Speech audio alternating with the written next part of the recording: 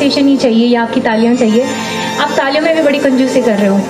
क्योंकि मैं ऑब्ज़र्व कर रही थी यहाँ पर बैठे बैठे हम आपके लिए आए हैं यहाँ पे।